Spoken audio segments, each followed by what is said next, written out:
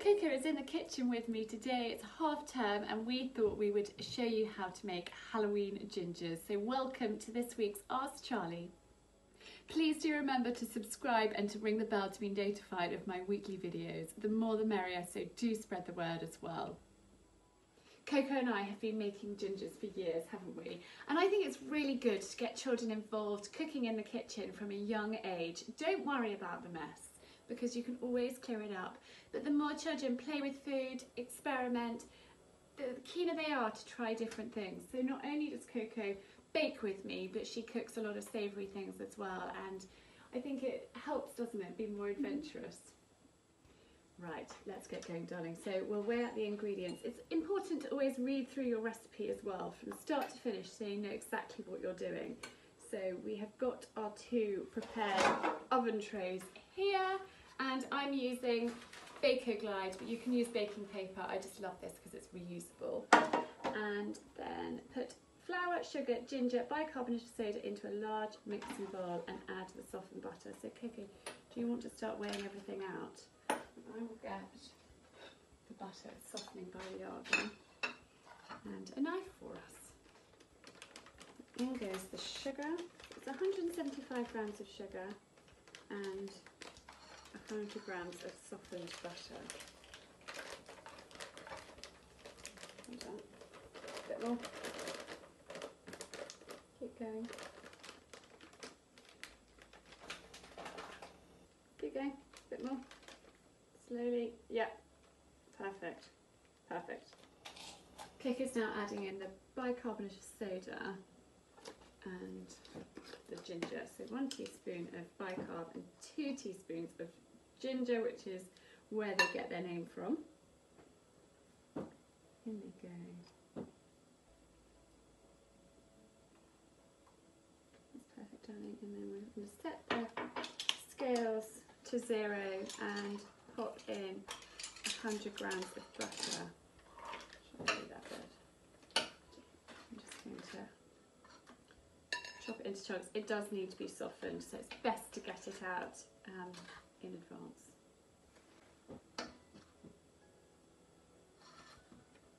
And then Diane, what does it say to do?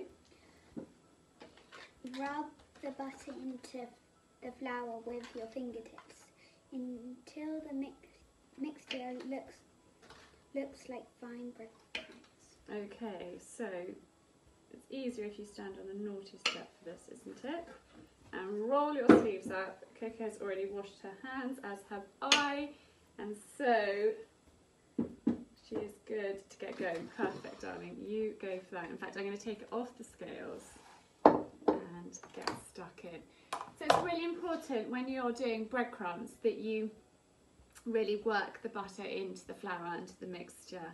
And um, Kiko will show you in a minute exactly how to do that. But to begin with, it's just getting the butter softened and mixed in.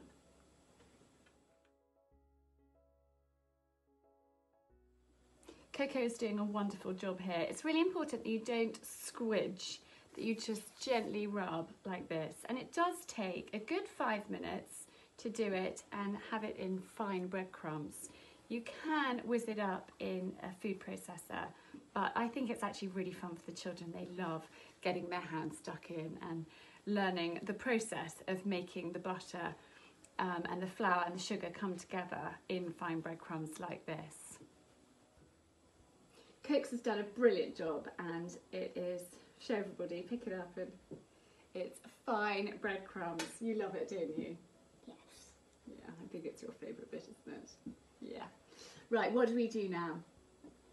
Break an egg into a small bowl and add in the golden syrup and use a fork to beat them. So I've got one egg here and I've put here a, um, it's incredibly hot, a mug of really um, boiling water and I've just been heating my spoon up in there for the golden syrup. I'm going to crack this egg. What do you want to crack this egg? Or you wash your hands and I'll do this. Could you grab me a fork as well, darling? I'm going to crack my egg into a smooth, a small pudding bowl. And then it is four tablespoons of golden syrup. So it's much easier with a hot spoon because let me show you. It runs off.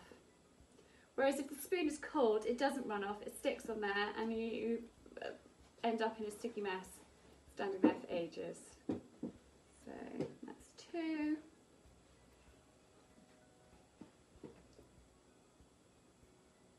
Three. And four.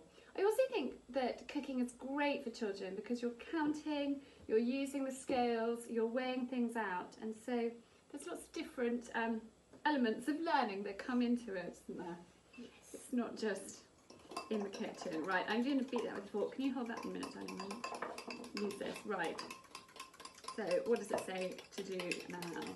It says stir in the eggy mixture into the flour with a metal spoon until it makes a soft dough. So, in that goes. Can you give it a good stir?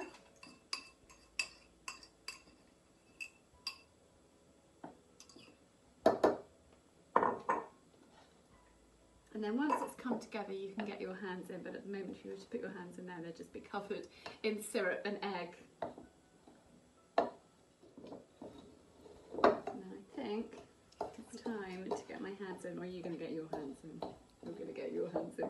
You're itching to, aren't you? Right. I'm going to scrape that doughy mixture off. Our spoon. Coke's is going to get her hands in, and I'm going to get my magic mat out. Okay, go for it.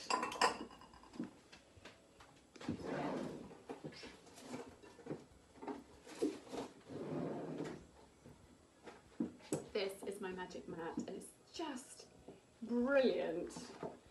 When I have children that come and cook here with me, everybody has a mat. We put the mat down, we flour the mat, and it just works really, really well. It doesn't matter what kitchen surface you have, you can use these mats on and it just works a treat. Right.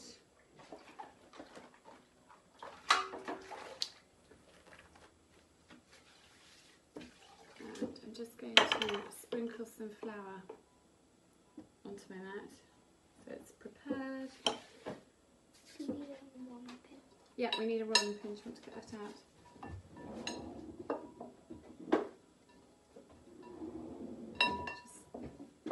Work this ball. And then Coco can roll it out for us. Show everybody. So can you see it's come together really well. I'm just going to give it another moment.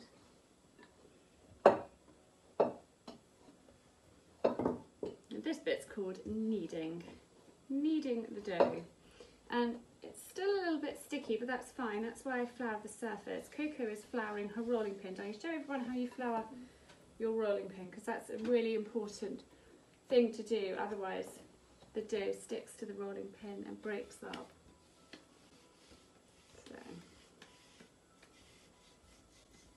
So. And now we don't need all this. This will make lots of biscuits. So I'm going to just pull a chunk off Coco to use and put that down in fact and go a bit smaller because we want our biscuits to be rolled quite thinly. So there you are darling.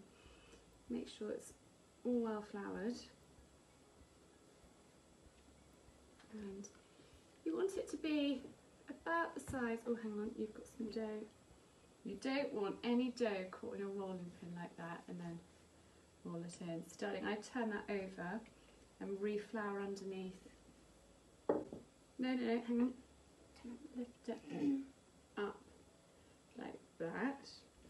Flour under, pop it down and re-roll and then flour your pin again. Like this. And then roll again. You want it to be about the thickness of a pound coin and evenly as well. We've got our cookie cutters at the ready and there are two sides. There's a sharper edge and a slightly more rounded edge and you want to make sure that the sharper edge goes down and Coco's going to cut out some shapes. Just got a bat there. Well done. A firm push down. That's good. And do some more shapes. Yeah. And then there's a ghost. I've got a um, palette knife, which is really handy as well for lifting up the shapes. So I'm going to pick up that bat and pop him on the oven tray there.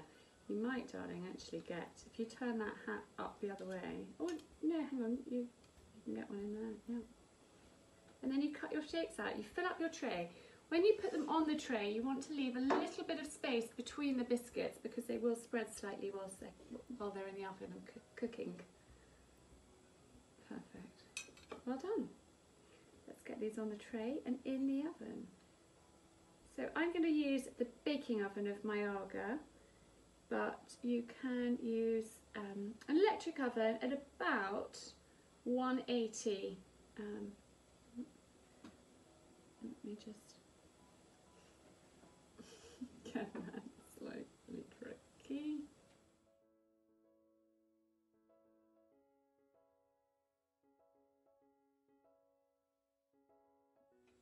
We have got our two trays with our biscuits on. So they're going to go in the Aga in the baking oven. So it's about 180 approximately for 10, 10 to 12 minutes halfway through. So at five minutes, I'm going to swap the trays around. Um, so we're going to put one down at the bottom and one just above. And then, okay, will you ask Alexa to time? Alexa, time five minutes. Set Alexa for five minutes. Five It's minutes. really important um, to always set a timer so you are aware and, and, and you don't burn things. The timer has just gone off, so let's have a look at these. That's perfect. So they are golden. I will bring the camera over to show you properly but those are perfect. Don't be careful. That hot oven tray and as are those ones as well. So very carefully. Can you do them? I think maybe, do you know what? We need to leave them for a couple of minutes in the trays before we take them out, just to cool slightly and settle. So we're going to leave those for a minute. I shall bring the camera over and show you them so you make sure you get the right colour, because that's key, isn't it? What colour is it going to be? Golden. That's right. Golden. These have cooled for a moment and I've brought you over for a closer look.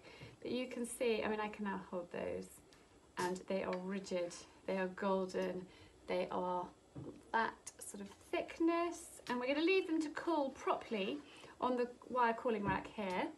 And then we can decorate them. But we can't decorate them while we're warm because what happens, Coco? A melt.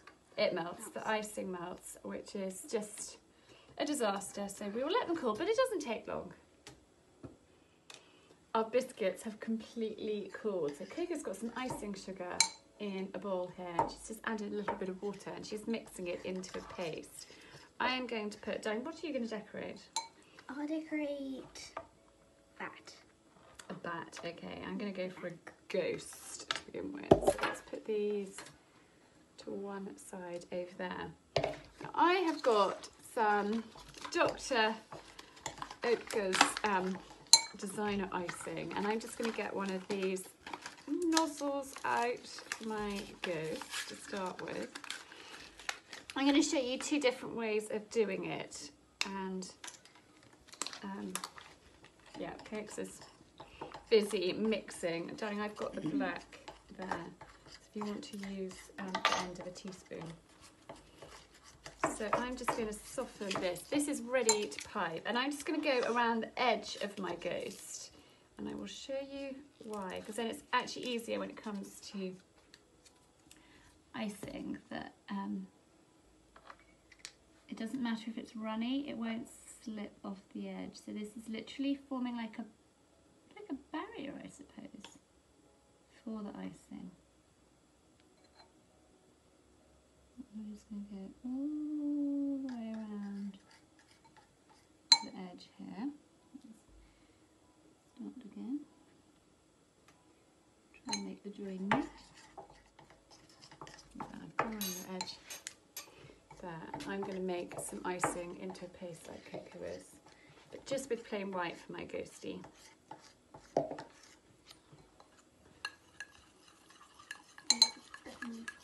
bit more, I need a bit more too.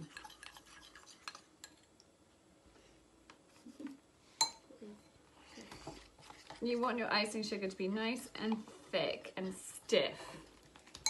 And I will show you when we have got to the perfect consistency. So our icings are at perfect consistency. Now this one is easy to do because I have put my barrier of the piped icing round. But irritatingly, they just come, I think in white now. Actually, Darling, will you get another spoon as well? I'm going to use the back of a spoon to manoeuvre my icing around my ghost biscuit. Um, you can make up and pipe your own icing, but actually, just to be quick and cheat, it's really great using those. But they used to do them in lots of different colours, and now I can only find them in white. And I don't know if we will find them again, but um, so I'm going to show you this way, and then I'm going to show you the way without the piping as well. So, Coco, you might want to do you want to finish that? Should we swap, swap mm. sides? Swap. No, not. So you push that around and then I'm now reaching over Coco. I've got some edible eyes in this packet. And will you put some eyes on my ghost, darling? And I'm going to put um, some eyes on the back. So I have got the black icing and I'm just going to pop it in the middle of the biscuit like this.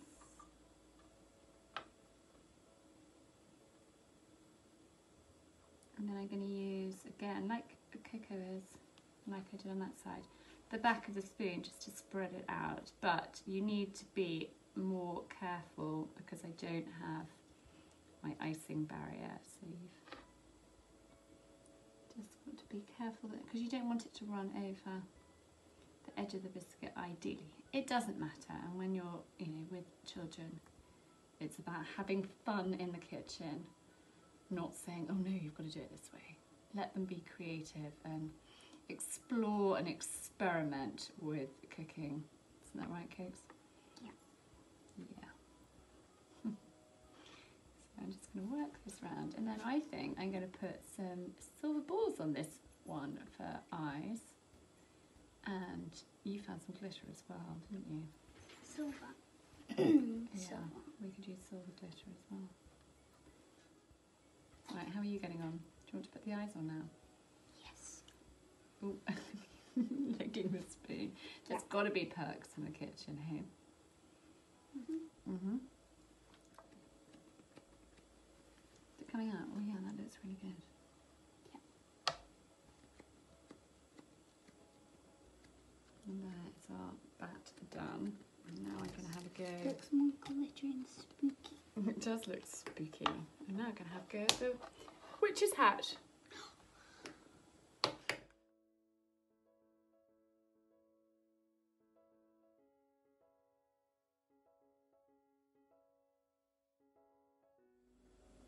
Coco and I have had so much fun in the kitchen together filming how to make our Halloween gingers. I hope that you've enjoyed it. Thank you for tuning in. Happy Halloween and have a fabulous weekend.